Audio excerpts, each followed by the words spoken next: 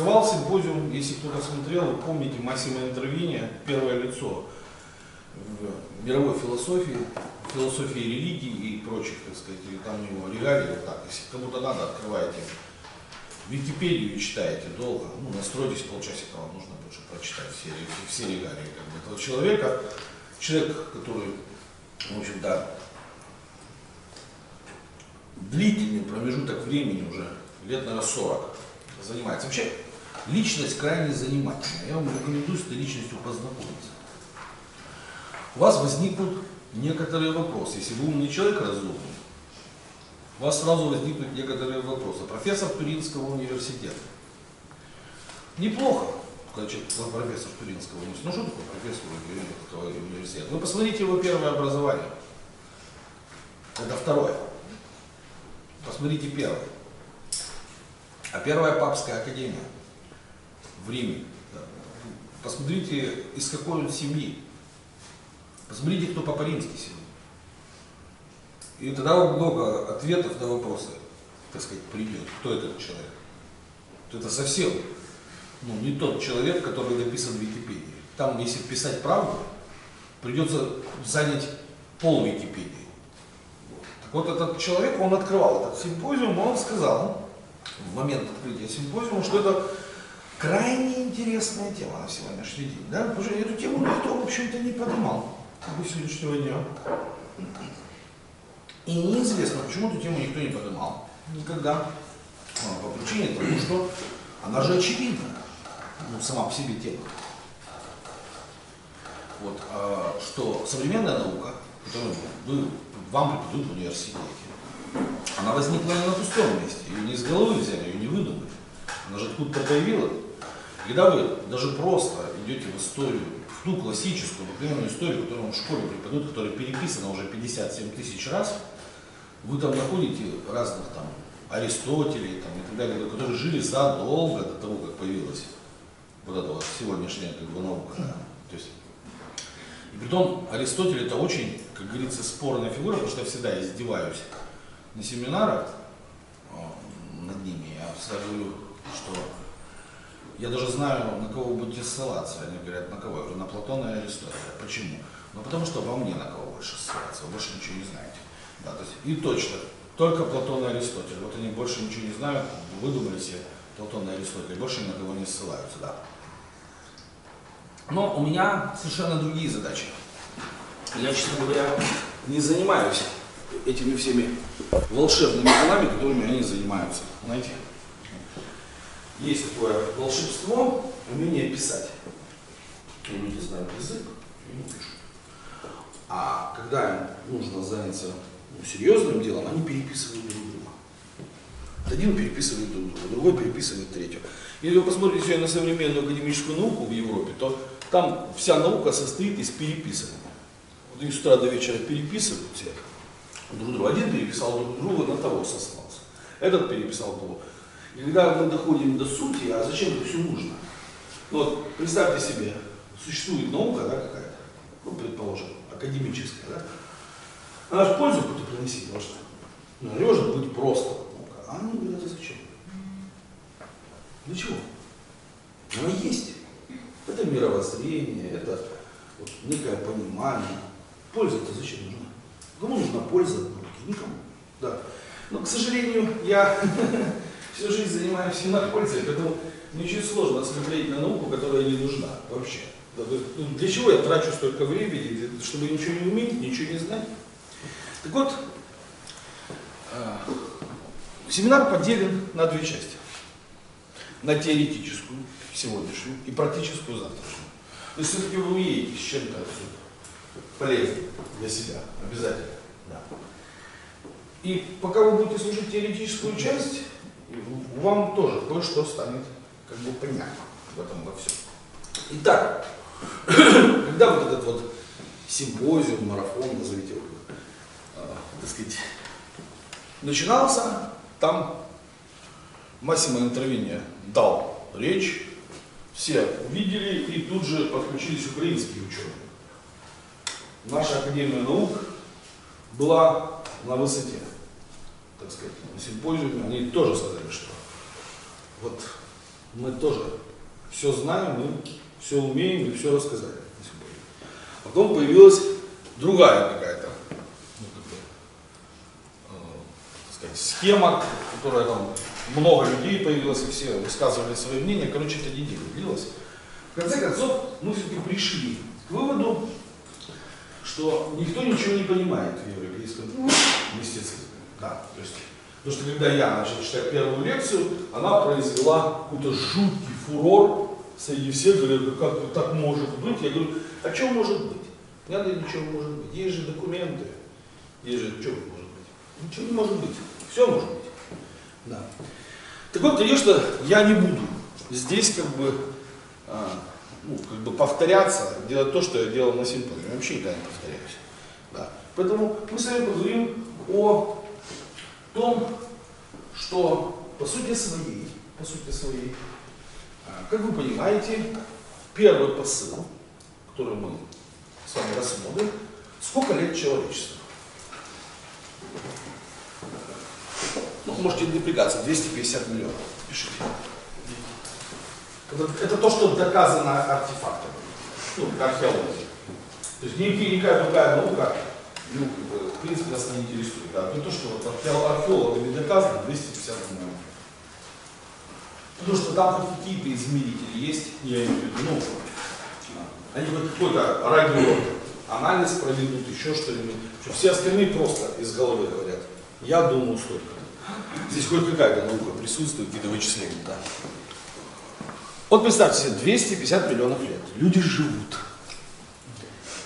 Они, знаете ли, существуют.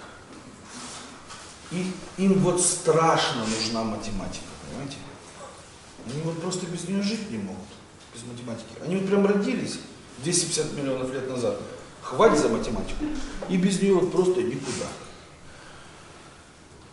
А потом им очень нужна, вы же понимаете, физика. Страшно нужна физика. Когда вы последний раз учение по физике?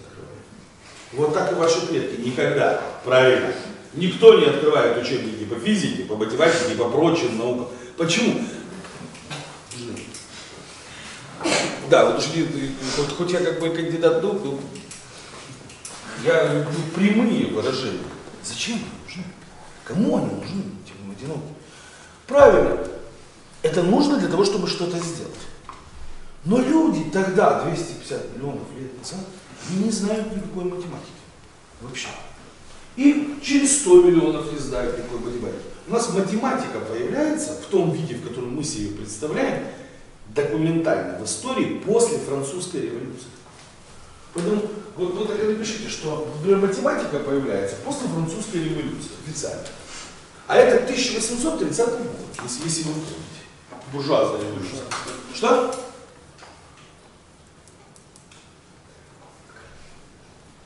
Да. 1789. Не-не-не, это сама революция. А математика, там же после этого время должно пройти, чтобы начали наводить порядок. Потому что, то, то, что вы правильно говорите, сама революция, да. А я говорю после, там же сказано, после французской революции. Как бы, да. 1830 год. И я сошлюсь на конкретный источник, откуда я это взял. И, точнее, таких источников несколько, но я вам сам авторитет. Да, источник Георгий книга «Адаптивное мышление». А, там пол книги о методологии науки. То есть пол книги идет о том, как наша наука становилась той наукой, которая она сегодня является. Ну, вот то, что мы сейчас видим. Да, и математические методы решения задач любые математические разрешения задач, они все датированы тысячу, после 1830 года. А теперь, опять со ссылкой на того же Гера Геренцера. Кто такой Гера Геренцер, неизвестно, да? Давайте я вам расскажу, кто такой Гера Геренцер. Это отличный парень. Да. Итак, раз вы не знаете, кто такой Георгий Геренцер, сейчас я вам за одну минуту объясню, кто это такой. Знаете, в мире сегодня таких людей, как Георгий Геренцев, немного. Их тоже по пальцам можно пересчитать. Ну, во-первых, это один из самых знаменитых психологов, которые существуют. Немец. Директор института Бланка в Германии Человек, который написал книгу «Адаптивное мышление», человек, который написал книгу об интуитивном принятии решений и так далее и тому подобное, таких вообще на самом деле только двое в мире. Это он и Канин. Да, то есть это люди, которые один всю жизнь ученый, проработал в науке, второй, вы знаете, работал ну, с военными в Израиле, потом переехал в Соединенные Штаты Америки. Канеман Нобелевский лауреат, этот Нобелевский лауреат. Оба, поэтому как бы ну, сложно очень как бы, что-то с ними говорить. Дядька он действительно очень интересный, и дядька он действительно очень умный. Как бы, да. Так вот, когда он пишет книгу об адаптивном мышлении, первое, что он пишет, утверждает в своей книге, что наш ум с вами очень плохо работает с цифрами. Он вообще не предназначен для этого. То есть они ставили эксперименты и выяснилось, что а, на 100% случаев из 100 человек при математическом расчете допускает ошибку. Это говорит о чем, как он говорит? О том, что наши предки математикой не пользовались. То есть мы всегда ошибаемся в вероятностях. Всегда. То есть мы очень хорошо работаем с величинами, которые нужно извлекать. Поэтому мы всегда безупречны в цифрах при методе извлечения. Что это значит? Вот вы в школе таблицу умножения выучили. Все, теперь вы извлекаете без укоризны. Вам дважды два, четыре, шестью шесть, тридцать шесть. Тут вы не ошибаетесь, не ошибетесь никогда в жизни. Но вот на методе расчета здесь вы ошибетесь 100 из 100. Человек всегда считает с ошибкой. А как они это делают? Очень просто. Георгий Геренцев взял своего студента, дал ему деньги и отправил его проходить анализы на венерические заболевания в Германии в 10 центов. Так вот, что самое интересное. В пяти он был болен, страшно. В трех они сомневались, а в двух сказали, что здоров. Это самое современное оборудование, самые современные методы расчета, самые современные врачи. Все самое современное. 80% ошибок из 10 центов. Тогда Георгий Геренцев очень сильно испугался и решил это повторить в Соединенных Штатах Америки в следующий раз. Там ошибка, вероятность ошибки была 100%. 10 центров дали все неверные информации. А вопрос задачники стоял очень прост. То есть он говорит, я сам их раскоординировал. Какова вероятность заболевания венерического у моего студента? И как только люди начали работать с вероятностью, они сразу начали делать ошибку за ошибкой. Автоматически.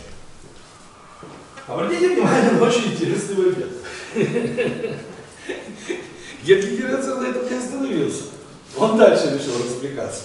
То же самое он пошел к самым великим консультантам, которые консультируют людей на бирже. И, и попробовал с ними поставить точно такое. Они ошиблись 10 из 10. Все тоже. То есть он смоделировал ситуацию на бирже и попросил дать прогноз. В результате они 10 из 10 ошиблись. О чем речь идет? О том, что человеческий ум плохо работает с цифрами. Что говорит Гигеренцер? Гигеренцер говорит следующее. Вообще современная наука обожествила человека, сделала из его, из него Бога. Он говорит, я не могу себе даже представить, каким способом рабочий на заводе с применением байесовской модели может рассчитать вероятность в уме. То есть, если вы возьмете книжку, любую, то расчет байесовской модели это вот книжка, да, вот так от книжки. То есть это вот так формулы, формулы, формулы, вычисления, вычисления. Так вот это нужно сделать в уме за доли секунды. Он говорит, я не понимаю, как рабочий на заводе может рассчитать вероятность с использованием байесовской модели. Но современная наука считает, что он может, должен просто подучиться хорошенько. Как вы понимаете, любой рабочий на заводе никогда не слышал о байесовской модели. Ничего. И ничего рассчитывать он не будет. И всю жизнь он как делал? На глаз, да, угол отклонения, бах, молотком, и все работает. Да? Кто же кто ж заниматься их не видео? Да. И вот, э, так как вы не были на прошлых моих семинарах, я буквально одну минуту скажу, что когда он говорит о книге, э, которая называется э, «При- о принятии интуитивных решений, там он говорит, что наша автоматика рассчитывает всего лишь один параметр. Для чего математике нужно решить тысячу с чем-то линейных уравнений. А наша автоматика считает один параметр. Например, бросок баскетбольного мяча в кольцо. Он говорит, вот чтобы рассчитать это математике, нужно около тысячи линейных ур- уравнений рассчитать. А чтобы нашей автоматике тело посчитать, нужно просто угол встречи кольца и мяча посчитать. То есть мы за, наша автоматика за микродоли секунды рассчитывает те вещи, которые компьютер не может рассчитать в течение двух часов. Никакой мир. Поэтому, когда говорят, что машины поглотят людей, съедят, современные компьютеры это допотопные вещи. По сравнению с нашими счетно-решающими приборами автоматики, это просто ну, очень слабенькая машина. Очень слабенькая машина. Поэтому когда мы говорим о том, что наше с вами мышление, наш с вами ум совсем не предназначен для того, чтобы работать с цифрами, это не значит, что мы не можем работать с цифрами. Можем. Как вы видите, мы дома строим, архитекторы проектируют, строители строят, мы машины, механизмы производим, все это мы умеем делать. Просто мы не умеем это делать изначально. Понимаете, да? То есть изначально наши механизмы не предназначены для работы с цифрами. То есть если человек никогда с цифрами не сталкивался, его об этом специально не обучали, то он не сможет это делать. Другие вещи мы сможем делать что? Без предварительной подготовки. Поэтому, безусловно, когда касается принятия решений, математика что? Не работает.